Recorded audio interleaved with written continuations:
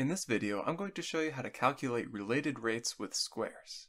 So here we suppose that the sides of a square are growing longer at a rate of 2 centimeters per second. We want to figure out how fast is the area changing when the sides are each 5 centimeters long. Well, why don't we draw this up? We've got our picture of a square right here, and we can label the sides with a variable, say x. So all the sides of the square have length x. Okay, so what else do we know? We also know that the sides are growing longer at a rate of 2 centimeters per second. So that means the rate of change of x with respect to time is equal to 2. Okay, so that's all the information we're given in the problem. What do we want to find? Well, we want to find how fast is the area changing when the sides are each 5 centimeters long. So that is, we want to find dA dt, the rate of change of the area with respect to time, when the sides are each 5 centimeters long, but don't worry about that part for just yet. Let's just focus on finding some expression for dA dt. Now, the way we're going to do this is we're going to pull apart this derivative. dA dt we can express as dA over something times something over dt. The reason we can do that is just the chain rule. The chain rule says we can treat derivatives kind of like fractions. If we fill in the same thing for the top hair and the bottom hair, it's like we can cancel them out to get dA dt. That's a valid move. And then why do we even want to do this in the first place? Well, we want to do this so that we can decompose dA dt into quantities that we can actually calculate. For example, we already have dx dt, so it might be a good idea to fill in these blanks with dx. Let's go ahead and do that. That way the second term in our product, dx dt, we already know what that is, that's just 2. And now it just remains to see if we can figure out what dA dx is. First of all, can we construct an equation relating a and x? If so, we can just differentiate it and get dA dx. a is the area of the square, x is the sides of the square, x is the length of a side of the square, and hey, there's an easy equation for that. The area of a square is just equal to the side length squared. So if we differentiate this equation, dA over dx, the derivative of a with respect to x, that's equal to the derivative of x squared, which, using the power rule, we know is just 2x. Great, so now we can just substitute straight into our product. dx dt, that's just 2, so we can put that in for dx dt here. And then dA dx, that's just 2x, and we can put that in for dA dx here. So writing this again, we have that dA over dt is equal to 2x times 2. So really just dA dt is equal to 4x. Okay, so now return back to the statement of the thing that we want to find. How fast is the area changing? Well, dA dt equals 4x. But what about when the sides are each 5 centimeters long? Well, that just means x equals 5. So dA dt when x is equal to 5, well, just sub in 5 for x here. 4 times 5, which is equal to 20. And put some units on that. It's units of area over units of time. Area is just length squared and length is centimeters. So this is centimeters squared per unit of time, which is seconds. So 20 centimeters squared per second is how fast the area is changing when the sides are each 5 centimeters long. Alright, next question. Suppose that the area of a square is decreasing at a rate of 10 centimeters squared per second. How fast is the length of the diagonal of the square decreasing when the sides of the square have length 20 centimeters? Alright, so again we've got our picture of a square, and why don't we label its sides with a variable x. Now we're told that the area of the square is decreasing at a rate of 10 centimeters squared per second.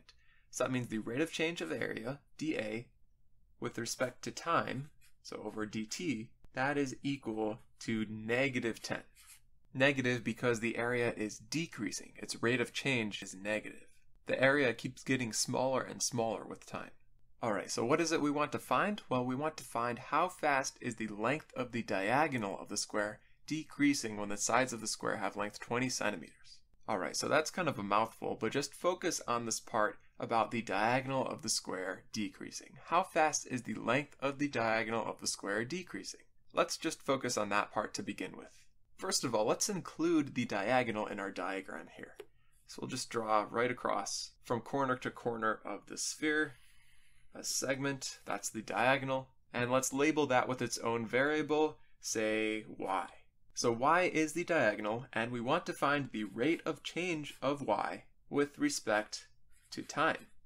Like we usually do, we're just going to pull this derivative apart. We'll decompose it into quantities that we can actually compute. So dy over something, then times that same something over dt. And we know what dA dt is, that's just negative 10, so that's a strong indicator that our something should be dA.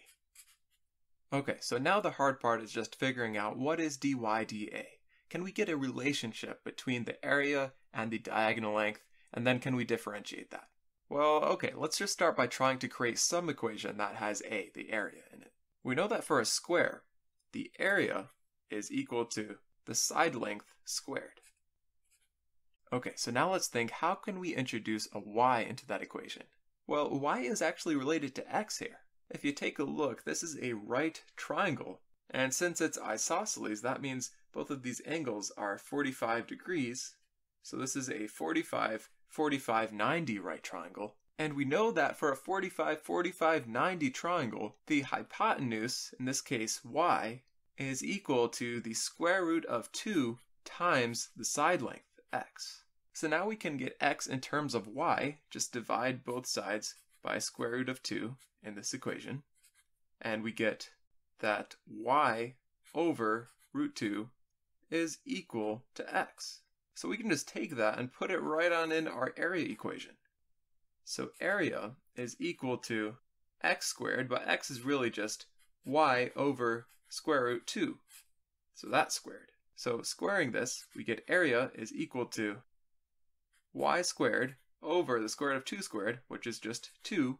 And now let's differentiate. We'll differentiate with respect to y just because it's easier the way our equation is set up, and then we'll just take the reciprocal of the derivative to get dy dA.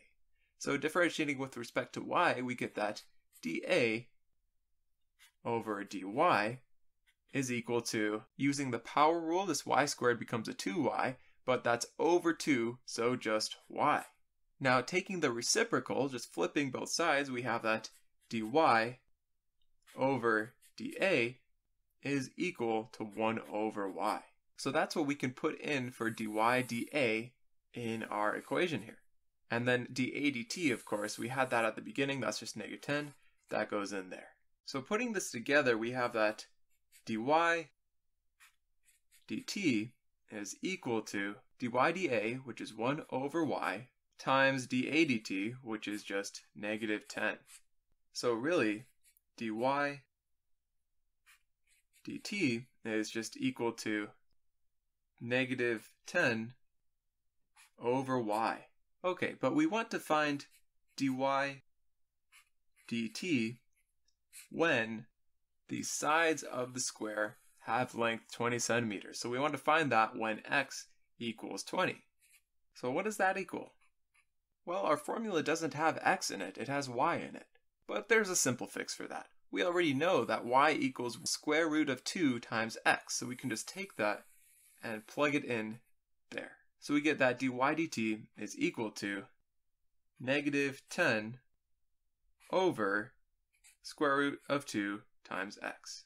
And finally, now we are at a stage where we can sub in 20 for x. So dy dt when x equals 20, that's equal to negative 10 all over square root of 2 times 20. And let's just clean up this answer a little bit. So we know that negative 10 over 20 is just a half. So this is negative 1 over square root of 2 times 2, or just 2 root 2. And then we can rationalize this expression. So just multiply by root 2 over root 2, multiply by root 2 on top and bottom. That'll get rid of the root in the denominator. We just get negative root 2 over 2 times root 2 times root 2, which is just 2 times 2, which is 4.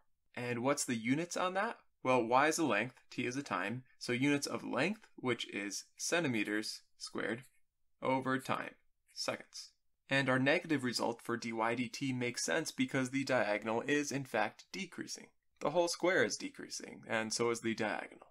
But one thing to notice here is that the question asks how fast is the diagonal decreasing? So the question is already presuming that this diagonal is decreasing. Whereas our answer here is actually the answer to how fast is the diagonal increasing. The diagonal is increasing at a negative rate. To be very explicit, let's just write that in. The diagonal is increasing